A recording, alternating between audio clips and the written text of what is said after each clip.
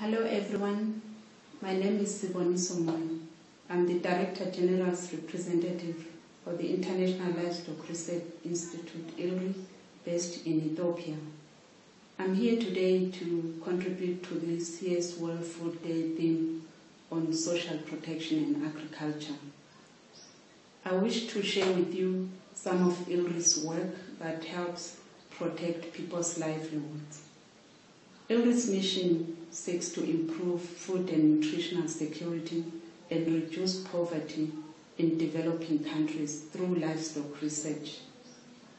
As part of our mission, we work in arid and semi-arid lands where livestock is a store of wealth and also a source of livelihoods.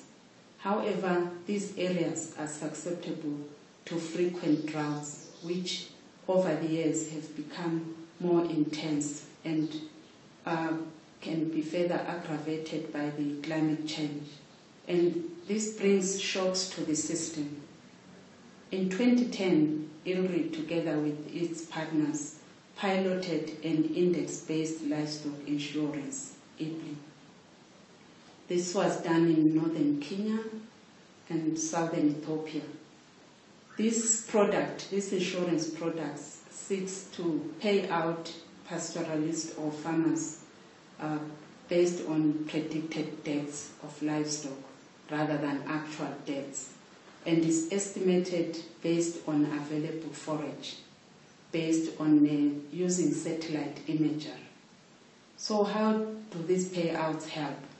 The payouts help to reduce poverty by reducing distressed sales of livestock in order to raise cash during a drought. And at times it also reduces the pressure for these communities to eat less meals a day. And it also reduces dependence on food aid.